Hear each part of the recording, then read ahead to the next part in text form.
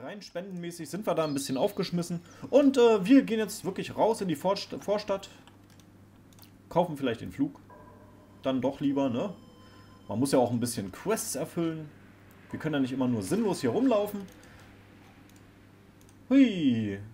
Und los geht's. Ja, und ähm, der ein oder andere fragt sich natürlich, ah, und Yakinator, Mensch, da sind noch so viele Secrets und so viele versteckte Möglichkeiten. Ich werde nicht alle Möglichkeiten, die es hier in dem Spiel gibt, abgrasen, weil ich gar nicht alle kenne und weil ich Spiele eigentlich immer so intuitiv gerne spiele, so wie sie kommen und nicht so dieses kalte, berechnende, ich muss das Spiel unbedingt auf perfekt durchspielen oder so. Nee, da bin ich gar kein Freund davon. Das mag ich nicht so. Und, ähm, deswegen, also seht mir es nach, wenn nicht alle Secrets aufgedeckt werden oder wir nicht alle Easter Eggs finden oder nicht jede tolle Waffe gleich haben. Äh, ja, so ist das halt einfach im Leben. Gut, jetzt gucken wir mal. Ist der Flug da draußen noch zu haben? 800, ich gebe dir. Ich nehme ihn. Gut, er gehört mir. Äh, liefer den doch bitte bei den Smiths ab. Kein Problem, ich möchte, dass er sofort geliefert wird. Gut, dann hätten wir das gemacht. Ähm, wir haben den Flug bei den Smiths abgeliefert. Mal sehen, was die Smiths dazu sagen. Hallo, wo seid ihr? Wo waren die denn? Ist das, wer ist denn das hier? Amanda? Achso, das, ach, das waren jetzt die mit dem... Ah, ach, da oben. Da oben ist der Smith und ähm, Joshua war da unten, genau. So, Herzlichen Dank, das hat der Vater mir gegeben, bevor er gestorben ist. Jetzt, wo die Wachen uns beschützen, brauchen wir es nicht, aber du kannst damit vielleicht was anfangen. Dankeschön, ich bin sicher, das kam genau richtig. Pass auf dich auf, Baby. Was habe ich denn jetzt gekriegt? Was habe ich jetzt bekommen? Aha, aha. Was, was, was ist denn jetzt? Ach, eine Desert Eagle. Na gut, ist ein bisschen Munition, aber mehr auch nicht. Wir können ja mal Cassidy fragen, was hat er denn noch so alles Schönes dabei? Hat er wirklich nur... Ach, er hat ja seine, seine komische doppelläufige abgesägte Schrotflinte. Für Linte. Ja, gut. Okay, soll auch reichen. Mehr muss Cassidy nicht haben. Und ähm, jetzt geht's äh, für, uns, für uns darum, äh, wirklich hier rauszukommen und auf dem Weg in die NCA zu sein. Und in der NCA, da können wir dann auch wieder ein bisschen einkaufen gehen. Und was wir unterwegs alles erleben, das werdet ihr gleich mitkriegen. Wenn es denn heißt... Southward Ho! Tschu! So, und ähm, die NCR, ja. Broken Hills haben wir da. Und da ist übrigens diese neue kalifornische Republik. Und zu der werden wir uns jetzt mal ganz fixi-faxi begeben. Und kommen hoffentlich dann auch irgendwie bei diesem Raider-Ding vorbei. So, jetzt aber. Achtung, eine Gruppe Sklavenhändler. Gut. Was machen wir? Yakinator der Weise. Wird er weise sein? Ich glaube schon. Äh, wir nehmen einfach mal das Jagdgewehr. 0 von 6, 0 von 10. Okay. So, und äh, dann machen wir da diese Munition rein. Oh, und jetzt sind wir wieder überladen. Aus welchen Gründen auch immer. Ähm, ist jetzt auch egal. Ähm, gut. Also, das sind die Leute mit den Waffen. Die werden wir gleich mal abschießen wollen. Jawohl. Hoppa. Was hat er? Okay, au. Fünf Trefferpunkte. Nicht gut. Jawohl. Und Cassidy nimmt alle gleichzeitig aufs Korn hier. Und wir natürlich auch hinterher. Peng, peng. 8 und 9. Und Cassidy haut sie alle weg. Oh. Neun Trefferpunkte, nun gut. Ähm, Cassidy, jetzt wäre es wunderbar, wenn du mich nicht abschießen würdest. Und wir hauen mal sicherheitshalber ab. Und haha, Cassidy! Du bist krass. Au! Und äh, jetzt treffen sich alle gegenseitig. Wunderbar. So hatten wir das geplant. Uh, uh, uh. Ja, genau. Auch du bist weg und ey, Cassidy macht sich hier wirklich richtig gut. Hauptsache, wie gesagt, er trifft mich nicht dauernd. Das wäre echt cool. Oho, Cassidy... Ach, er hat da jetzt doch ein Kampfgewehr. Ach ja, stimmt. Statt der abgesägten Schrotflinte hat der Cassidy ja jetzt ein Kampfgewehr. Super, und da haben wir das geschafft. Neun... Na... Ey, ich will Geld mitnehmen. Och, das können wir jetzt nicht machen, oder was? Nur. Ach, deswegen dieser blöden Desert Eagle sind wir jetzt äh, ähm, überladen. Mhm. Ein geschärfter Speer? Nee, den können wir auch nicht mitnehmen. Wir könnten natürlich theoretisch äh, die überzähligen Sachen dem guten alten Cassidy geben. Müssen wir demnächst auch machen. Hm. Nee. Also. Ah.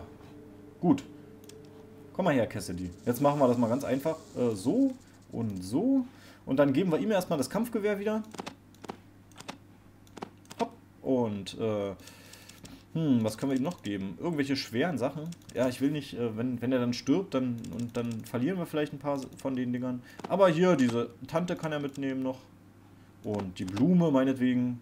Und drei Wasserflaschen. Äh, ja, 23 ist das schon mal Ersparnis.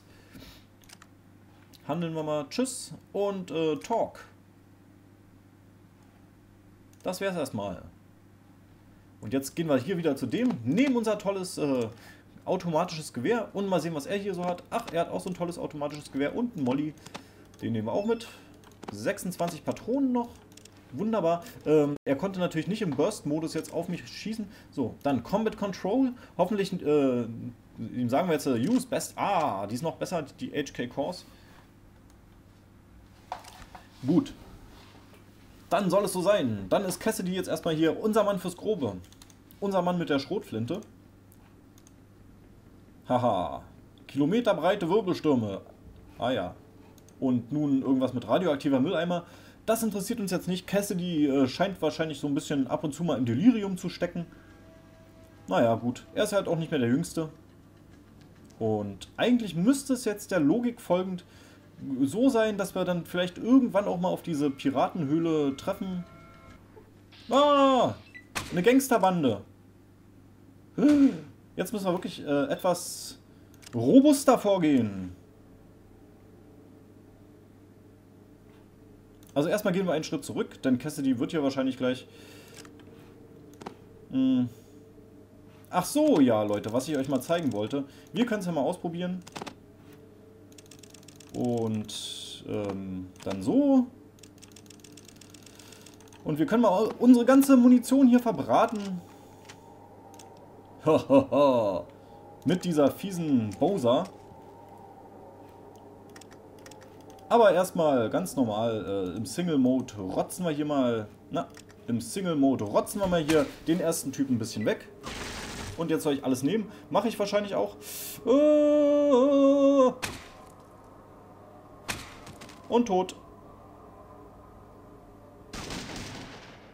Tja, liebe Leute, ich bin jetzt ein kleines bisschen sprachlos. Ähm, ich habe mich vergessen, einfach zu äh, speichern zwischendurch. Jetzt bin ich tot, jetzt bin ich da reingelaufen und äh, ist natürlich doof. Aber ähm, wir beenden jetzt erstmal die Session und ich verspreche euch, äh, wir werden bald zurückkommen. Hm. Und zwar genau dort anschließen, denn man kann es ja einfach alles nochmal durchspielen. Das mache ich dann für euch und dann haben wir ungefähr dieselbe Ausrüstung und denselben Quatsch und befinden uns an derselben Stelle. Natürlich mit Cassidy zusammen und machen das alles und äh, ja, tut mir leid, dass das jetzt so abrupt geendet ist. So kann es auch mal gehen hier bei Fallout 2. Einmal nicht gespeichert, da war ich echt blöd, dass ich jetzt zwischendurch nicht gespeichert habe. Ich sollte mir das mal zur Angewohnheit machen. Ähm, ja, also äh, es hat mir trotzdem sehr viel Spaß gemacht. Heieiei. Ey, das ist peinlich, peinlich, peinlich. Aber es hat mir sehr viel Spaß gemacht und ich werde mich gleich daran setzen jetzt und ähm, das nochmal nachspielen. Haha, mit allem drum und dran, was wir so hatten und was wir so nicht hatten. Und das machen wir schon, ne? Also Leute, ne? Keine Angst und keine Panik. Es geht weiter mit Fallout 2. An derselben Stelle, als ob wir gespeichert hatten. Für euch beim nächsten Mal. Tschüss, sagt der Yakinator. So, und ups, äh, ein kleiner Sprung. Ah, ich drehe mal die Lautstärke ein bisschen leiser, damit ich ein bisschen was erklären kann. Ja, jetzt bin ich hier wieder am Eingang von Vault City und, ähm, tja, woran wird das wohl liegen? Ich äh, wurde überfallen auf dem Weg von Vault City nach in die neue Kalifornische Republik. Ähm, gerade als ich diese Session hier so ein bisschen in erfolgreiche Bahnen lenken wollte und äh, wurde brutal abgemetzelt, zusammen mit Cassidy. Tja, dummerweise habe ich dann gemerkt, oh, ich habe gar keinen Speicherstand gemacht und äh, dementsprechend äh, ging es da nicht anders. Ich habe nicht oft genug gespeichert, das ist ja immer tödlich und deswegen musste ich das, was wir in der letzten Session gemacht haben, auch alles nochmal schnell durchspielen. Und äh, jetzt stehe ich hier wieder an dem Punkt, dass ich gerade in Wall City stehe und äh, in die NCR reisen will. Sonst ist alles wie vorher. Na gut, ein paar Sachen sind anders. Also wir haben diesen Flug noch nicht gekauft, äh, weil uns das Geld ein bisschen fehlt. Dafür haben wir uns dann vorhin lieber einen Red Away gegönnt.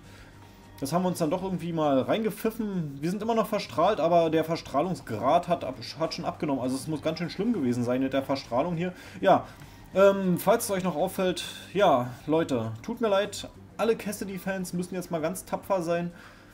Ich habe Cassidy wieder entsorgt, mehr oder weniger unfreiwillig. Allerdings äh, hat das auch ein paar gute Gründe, dass ich ihn jetzt nicht nochmal mitgenommen habe.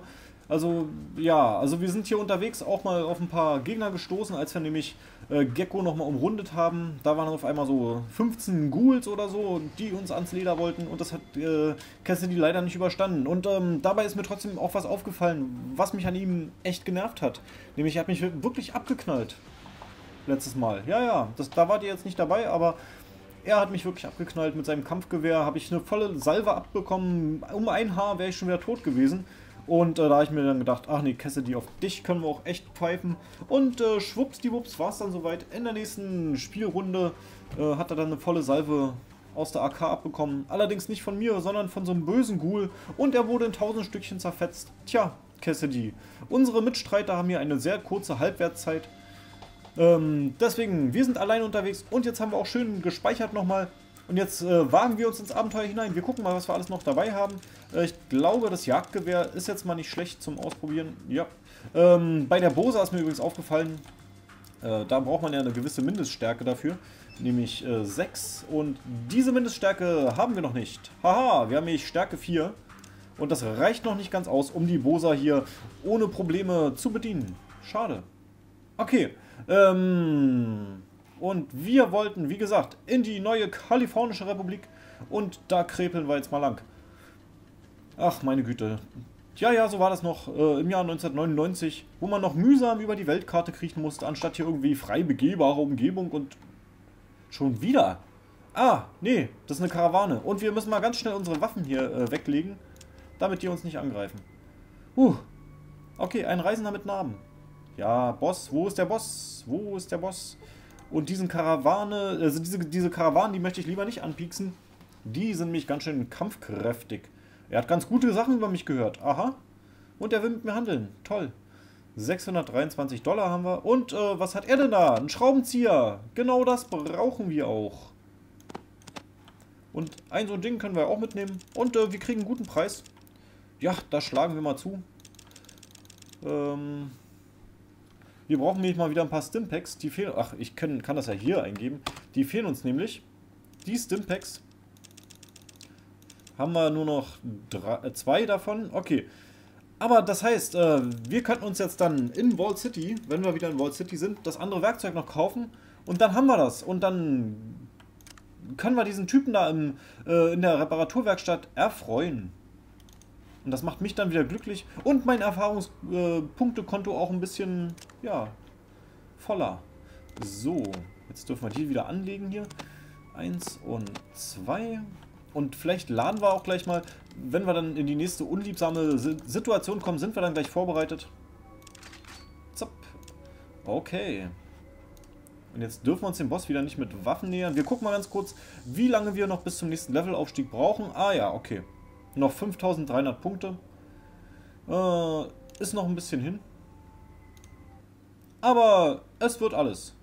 So, jetzt ist wieder Zeit, äh, um ein bisschen zu speichern. Das merke ich mir jetzt ganz doll. LP schnell soll es sein. Das ist unser Schnellspeicherslot. Zapp. Das war's. Schon gespeichert. Und wir sind immer noch abhängig nach diesem Jet. Oh, Jet, Jet, Jet. Ich würde jetzt gerne... Oh, ich würde mir jetzt gerne hier so drei, vier, fünf Fläschchen richtig geiles Jet mal reinhauen. Oh, das wäre jetzt so schön. Nein, stattdessen treffen wir schon wieder auf eine Karawane äh, und keiner nähert sich dem Boss mit Waffen. Ist klar. Wir können ja mal gucken, was da in dieser Höhle drin ist. Ein Karawanenmeister. Aha. Das sind unsere Waren. So, was habt ihr denn an Waren? Ach, schon wieder dasselbe. Gut. Das äh, ist jetzt nicht so schlimm, das brauchen wir alles nicht.